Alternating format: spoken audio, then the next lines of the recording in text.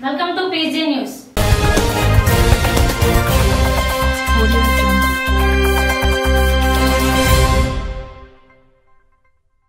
Anantapuram జిల్లా పుట్లూరు మండలంలో తహసీల్దార్ office ఎదుట జూన్ ఇరవై ఎనిమిదిన రైతుల కోసం సిపిఎం ఆధ్వర్యంలో ఆమరణ దీక్ష. ఈ దీక్షలో సిపిఎం మండల కార్యదర్శి రామాంజీ సూరి సిఐటియు కార్యదర్శి వి శేఖర్ బాలరాజు పాల్గొన్నారు. అనంతపురం జిల్లా పుట్టూరు మండలం పీజే న్యూస్ చెప్పండి సార్ మీ సమస్య ఏమిటి?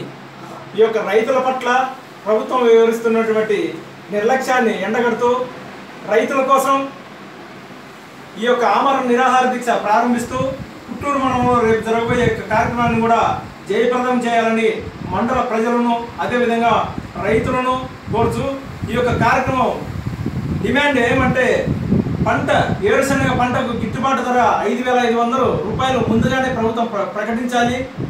ఈ యొక్క రైతులకు వచ్చేసి పంట సహాయంగా పెట్టుబడి సహాయంగా ఎకరాకు పదివేల చొప్పున ఐదు ఎకరాల లోపల ఉన్న ప్రతి రైతుకు కూడా ఈ యొక్క పంట సహాయం పదివేల ప్రభుత్వమే అందజేయాలని. అంతేకాదు ఆత్మహత్య చేసుకున్నటువంటి రైతు కుటుంబాలకు పరిహారం వెంటనే చెల్లించాలి. నిర్లక్ష్యం ఎంత మాత్రం రైతుల పట్ల నిర్లక్ష్యం అనేది ఉండకూడదు.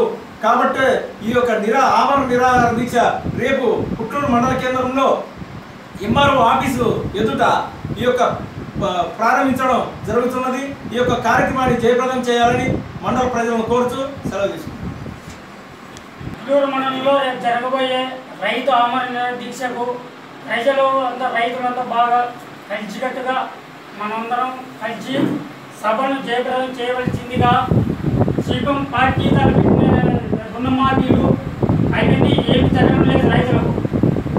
దానికి రేపు జరగబోయే సభ దగ్గర మనము ఆమరణ చేసి సభను జయప్రదం చేయవలసిందిగా అనంత అనంతపురం జిల్లా పుట్టూరు మండలం PJ news power of journalism చూస్తూనే ఉండండి PG news power of journalism subscribe Please subscribe. Subscribe. Subscribe. Subscribe. Subscribe. please do subscribe Please do subscribe. Please subscribe.